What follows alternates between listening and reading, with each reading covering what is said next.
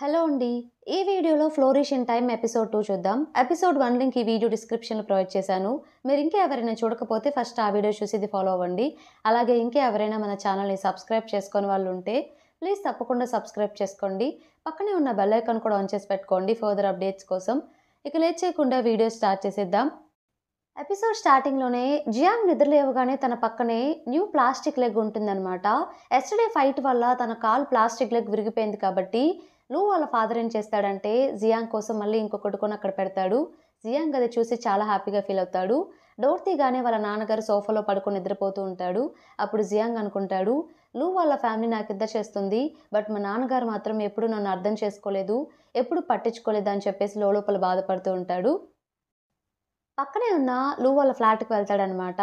Door కొట్టగానే Lu వాళ్ళ father door తీసేసరికి థ్యాంక్ యూ చెప్తాడు. ఆర్టిఫిషియల్ లెగ్ కొన్న కొనిచ్చినందుకు. అప్పుడు లూ ఇంకా జియాంగ్ ఇద్దరు కలిసి ఇక స్కూల్కి స్టార్ట్ అవుతారు. స్కూల్లో ఇలా రూమర్స్ అనేవి స్ప్రెడ్ అవ్వడం స్టార్ట్ అవుతాయి. నిన్న మీకు తెలుసా? జియాంగ్ ఒక గ- గొడవ జరిగింది. లూనే వెళ్ళి కాపాడింది. కన్ఫర్మ్గా వాళ్ళిద్దరు లవ్ చేసుకుంటున్నారు అని చెప్పేసి కొంతమంది. అలా కాకుండా కొంతమంది ఏమో లేదు లేదు వాళ్ళిద్దరు బ్రదర్ అండ్ సిస్టర్ అని చెప్పేసి మన లూ ఎవరో కాదు జియాంగ్కి సిస్టర్ అవుతుందని చెప్పి స్కూల్లో అందరూ మాట్లాడుకుంటూ ఉంటారు. లూ క్లాస్కి వెళ్ళగానే అప్పటికే చాలామంది అమ్మాయిలు లూ కోసం వెయిట్ చేస్తూ ఉంటారనమాట లూకేమీ అర్థం కాదు.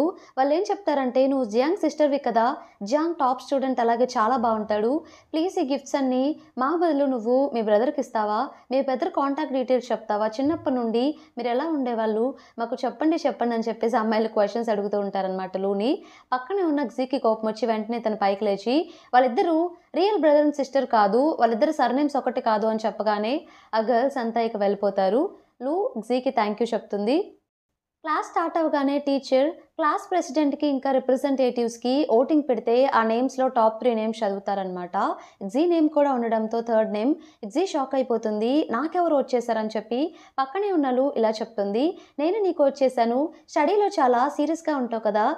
నీకు ఇంపార్టెన్స్ ఎక్కువ ఇస్తావు కాబట్టి స్టడీకి నువ్వు ఉంటే బాగుంటుందని నేనే నీకు వచ్చేసాను అనగానే జీ వెంటనే కోపంగా చూస్తుంది లూని. ఎవరిని అడిగి ఓట్ చేసావు? ఎందుకు ఇలా చేసావు? నాకు అస్సలు నచ్చదు అని చెప్పేసి కోపపడుతుంది. లూ మనసులో అయ్యయ్యో ఇప్పుడు తప్పు చేశానా? అనవసరంగా చేసినట్టున్నాను అని చెప్పి తను బాధపడుతుంది. జీని క్లాస్ టీచర్ స్టడీ రిప్రజెంటేటివ్గా పెడతాడనమాట. సో క్లాస్ అయిపోగానే తను ఏం చేస్తుందంటే లూ జియాంగ్ని మీట్ అయ్యి ఈ మ్యాటర్ చెప్తుంది. నేను జీ కోటేశాను తనకి నచ్చలేదు అనుకుంటాను. కానీ జియాంగ్ ఇలా చెప్తాడు. అందరికీ నచ్చాలని లేదు కదా. తను ట్రబుల్స్ తెచ్చుకోవడం ఎందుకని చెప్పి వాటికి దూరంగా ఉండాలనుకుంటుందేమో. కూల్గా ఇప్పుడు ఈ బాధ్యతలన్నీ తన మీద పడితే మళ్ళీ ఇవన్నీ ఎందుకు అనుకుంటుందేమో అందుకే బాధపడినట్టుంది అని చెప్పి జియాంగ్ చెప్తూ ఉంటాడు. ఇంతలో పక్కన ఇద్దరు అబ్బాయిలు జియాంగ్ గురించి ఇలా మాట్లాడుకుంటూ వెళ్తూ ఉంటారనమాట. జియాంగ్కి ఆర్టిఫిషియల్ లెగ్ తనకి రియల్ లెగ్ కాదు తన హ్యాండిక్యాప్డ్ అని చెప్పేసి లూకి కోపం వచ్చేసి ఆ ఇద్దరు అబ్బాయిల్ని తిట్టేస్తుంది. మీ పని మీరు చూసుకోండి అని చెప్పి లూకి పీటీ క్లాస్ ఉండడంతో గ్రౌండ్కి వెళ్తుంది. గ్రౌండ్కి వెళ్ళేసరికి గ్జీ ఒక్కటే పేరు లేకుండా ఉండేసరికి లూక్ జీ ఇద్దరు ఇక పేరప్ అయిపోయి ఎక్సర్సైజెస్ చేస్తూ ఉంటారనమాట అప్పుడే మనల్లు జీకి సారీ చెప్తుంది. అస్సలు అనుకోలేదు. నువ్వు ఇంకా ఇష్టపడతావు అనుకున్నాను. బట్ ఏం భయపడకు? నీకు ఆ క్వాలిటీస్ ఉన్నాయి. అవన్నీ చూసే నేను నోట్ చేశాను. నీకే హెల్ప్ కావాలన్నా నేను చేస్తాను. ఏం భయపడకు? నువ్వు చేయగలవు నువ్వు చేయగలవు అని చెప్పేసి ప్రోత్సహిస్తూ ఉండేసరికి జీ సంతోషపడుతుంది. పాపం బ్లూ కూడా మంచిదని చెప్పేసి తనతో ఫ్రెండ్షిప్ చేద్దామని చెప్పి జీ అనుకుంటుంది. ఇక అలా ఇద్దరు ఫ్రెండ్స్ అయిపోతారు. ఇద్దరు కలిసే క్లాస్కి వెళ్తారనమాట క్లాస్కి వెళ్ళిన తర్వాత జీ దగ్గర ఒక నోట్బుక్ చూస్తుందనమాట లు. ఆ నోట్బుక్లో తనేదో బిగ్ డేటా యూజ్ చేసి అందరు అబ్బాయిల గురించి అనాలిసిస్ చేస్తూ ఉంటుంది. లు ఏంటిది? దేని గురించి రాస్తున్నావంటే ఎగ్జీలా చెప్తుంది. నార్మల్గా ఎవరైతే అన్నిట్లో టాప్ ఉంటారో వాళ్ళని నేను చూస్ చేసి అనాలిసిస్ చేసి ఫైనల్గా ఈర తర్వాత వాళ్ళకి ప్రపోజ్ చేస్తాను అన్నట్టుగా జీ చెప్తుంది. ఇప్పటి వరకు అయితే నా లిస్ట్లో టాప్ ఉంది ఎవరో కాదు నీ బ్రదర్ జియాంగే ఉన్నాడు అని చెప్పగానే లూ ఒక్కసారిగా షాక్ అయిపోతుంది అనమాట అదేంటి అతనిలో ఏ క్వాలిటీస్ ఉన్నాయని టాప్ ఉన్నాడు అంటే జీ ఏం లేవు మరి టాపర్ బాగానే ఉంటాడు. అలాగే అన్నిట్లో మంచి క్వాలిటీస్ ఉన్నాయి గుడ్ హ్యాబిట్స్ ఉన్నాయి అందుకే టాప్ ఉన్నాడు అన్నట్టు జీ చెప్తుంది. ఆ రోజు నైట్ జియాంగ్ చదువుకుంటూ ఉన్నప్పుడు లూ జియాంగ్ ఫ్లాట్కి వచ్చేస్తుంది అనమాట తన రూమ్కి వచ్చి కొన్ని లెటర్స్ తీసుకొస్తుంది. నీకోసం చాలామంది అమ్మాయి లవ్ లెటర్స్ రాశారు. ఇవి నీకు అందజేద్దామని వచ్చాను. నేను చదువుతాను విను అని చెప్పేసి ఒక్కొక్క లెటర్ తీసి చదువుతూ ఉంటుందన్నమాట ఒక లెటర్లో ఎవరో కావాలని చెప్పి మన జియాంగ్కి కాల్ లేదు కదా హ్యాండిక్యాప్డ్ కా హ్యాండిక్యాప్డ్ కాబట్టి దాని గురించి స్టే అవే ఫ్రమ్ అస్ అని చెప్పేసి ఎవరు రాస్తారు. అది వింటే ఎక్కడ జియాంగ్ బాధపడతాడని చెప్పి లూ వెంటనే ఆ లెటర్ తీసుకొని నేను వెళ్తున్నానని చెప్పేసి హడావిడిగా వెళ్ళిపోతుంది. లూ వెళ్ళిపోగానే జియాంగ్ ఆ లెటర్స్ అన్ని డస్ట్బిన్లో వేస్తాడు. కాసేపటికి వాళ్ళ నాన్నగారు బాగా డ్రింక్ చేసి ఇంటికి వస్తారు. ఇంటికి రాగానే వామిటింగ్ చేసుకోవడం స్టార్ట్ చేసేసరికి జియాంగ్ వెంటనే తన పక్కనే ఉన్న డస్ట్బిన్ తీసుకొని వాళ్ళ నాన్నగారు వామిటింగ్ చేసుకుంటున్నారని అక్కడ పెడతాడు. ఆ డస్ట్బిన్స్లో ఉన్న లవ్ లెటర్స్ అనేవి జియాంగ్ వాళ్ళ నాన్నగారు అబ్జర్వ్ చేసి వాటిని తీస్తాడనమాట. తీసి చిన్నప్పటి నుండి నువ్వు వింతేనా? ఎవరు నీకు మంచి చేద్దామని చూసినా దగ్గర అవుదామని చూసినా ఎప్పుడు దూరంగా ఉంటావు ఎవరితో మాట్లాడవు ఎవరిని పట్టించుకోవు సేమ్ మీ అమ్మలాగే నువ్వు అని చెప్పి తిట్టడం స్టార్ట్ చేస్తారు. జియాంగ్ వెంటనే కోపంతో ఇక అంకుల్ మీరు ట్రబుల్ చేయడం ఆపుతారా? ప్లీజ్ అతనికి దూరంగా ఉండండి అని చెప్పి డోర్ క్లోజ్ చేసుకుంటాడు కోపంగా. నెక్స్ట్ డే ఏం చేస్తుందంటే ఎవరైతే జియాంక్ ఒక లెటర్ రాశారో హ్యాండిక్యాప్డ్ మీరు స్టే అవే ఫ్రమ్ అస్ అని చెప్పేసి వాళ్ళతో వెళ్ళి గొడవ పడుతూ ఉంటుంది. వాళ్ళేమో అసలు నీకేం పని? ఎందుకు ఇప్పుడు మమ్మల్ని డిస్టర్బ్ చేస్తున్నావు? అని చెప్పేసి ఆ ఇద్దరు అబ్బాయిలు లోని తిడుతూ ఉంటారు. ఇంతలో అక్కడికి జీ వచ్చేసి లూను ఆపడానికి ట్రై చేస్తూ ఉంటుంది. గొడవ పడద్దు గొడవ పడద్దు అని చెప్పేసి ఆ ఇద్దరు అబ్బాయిలు అక్కడ నుండి వెళ్ళిపోతారు.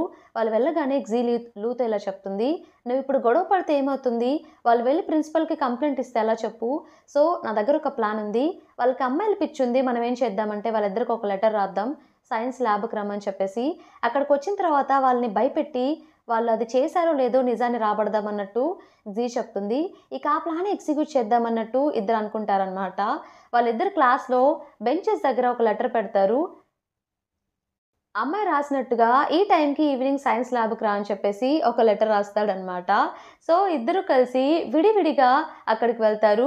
అక్కడికి వెళ్ళి ఒకరి మొక్కలు ఒకరు చూసుకుంటారు. నీకు కూడా ఒక అమ్మాయి లెటర్ రాసింది ఇక్కడికి రమ్మనంటే ఆ ఇద్దరు ఫ్రెండ్స్ అవును నాకు కూడా రాసింది నీకు కూడా రాసింది అంటే ఆ ఇంకొకరు కూడా నాకు కూడా రాసిందని చెప్తారు. అక్కడికి వెళ్ళగానే స్కెలిటన్స్ అన్నీ ఉంటాయన్నమాట. వీళ్ళు ఏం చేస్తారంటే ఒక స్పీకర్ పెట్టేసి ఏదో దయ్యం మాట్లాడుతున్నట్టు జీ ఇంకా లూ ప్లాన్ చేస్తారు. ఆ స్పీకర్లో ఏం మాట్లాడుతూ ఉంటారంటే మీరు చేసిన తప్పులేంటో చెప్పండి నిజం చెప్పండి అని చెప్పి భయపెడుతూ ఉంటారు. ఆ ఇద్దరు అబ్బాయిలు ఇక భయపడుతూ భయపడుతూ నిజాలన్నీ చెప్పేస్తారు. వాళ్ళు ఏం తప్పులు చేశారో ఒక అబ్బాయి చెప్పేస్తాడు. నేను ఎగ్జామ్లో చీట్ చేశాను అలాగే ఇంకొక లవ్ లెటర్ కూడా చదివాను. జియాంగ్ని కూడా ఏడిపించాను నేనే అని చెప్పేసి చెప్పగానే నిజం చెప్పగానే లూ బయటకు వచ్చేసి ఇప్పుడు అర్థమైందా మీరేం తప్పు చేశారో? ఇంకొకసారి జియాంగ్ నేర్పిస్తే ఇంతకన్నా దారుణంగా చేస్తాను అని చెప్పేసి వాళ్ళని బెదిరిస్తుంది. వాళ్ళకి భయంతో ఇదంతా నువ్వు చేసావా అని చెప్పేసి కోపంగా వాళ్ళు బయటికి వెళ్ళిపోతారు. వాళ్ళు వెళ్ళిపోగానే జీ కూడా బయటకు వస్తుంది అనమాట రూ దగ్గరికి. చూసావా నా ప్లాన్ ఎంత బాగుందో? నిజం ఎలా చెప్పించాను అని చెప్పేసి జీ అంటుంది. లూ ఇంకా జీ ప్లాన్ సక్సెస్ అయినందుకు చాలా హ్యాపీగా ఫీల్ అవుతారు. నెక్స్ట్ డే వాళ్ళిద్దరు ఏం చేస్తారంటే లైబ్రరీలో కూర్చొని లూని ఇంకా జియాంగ్ని తిట్టుకుంటూ ఉంటారనమాట జియాంగ్ అసలు పిరికి పందా? ఇలాంటి వాడని అస్సలు అనుకోలేదు. ఒక అమ్మాయి తన్ని ప్రొటెక్ట్ చేయాలా ఏంటి అని చెప్పేసి మాట్లాడుకుంటూ ఉంటే అప్పుడే జియాంగ్ లై లైబ్రరీకి వచ్చేసి ఆ కాన్వర్జేషన్ అంతా వింటాడు.